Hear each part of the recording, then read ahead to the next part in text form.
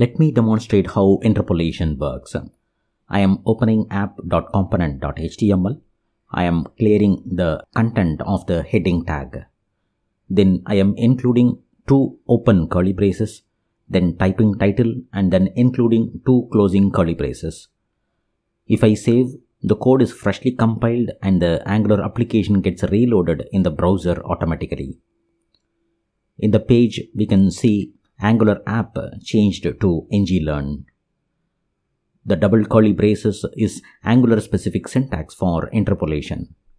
Once Angular finds a title within interpolation, it looks for the title property in app.component.ts. Let me open app.component.ts.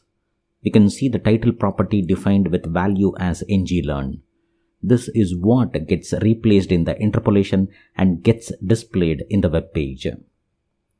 The property code in app.component.ts is part of the automatically generated code when we created the Angular application. Let me make a change in the title property value. I am including an hyphen between ng and learn. After saving, we can see that the heading changes in the web page. We can see how interpolation helps to dynamically display data from a component property. In app.component.html, change the heading tag content with this interpolation. Check if it works as expected, then move on to the next video. In the next video, we will see how interpolation fits within Angular architecture.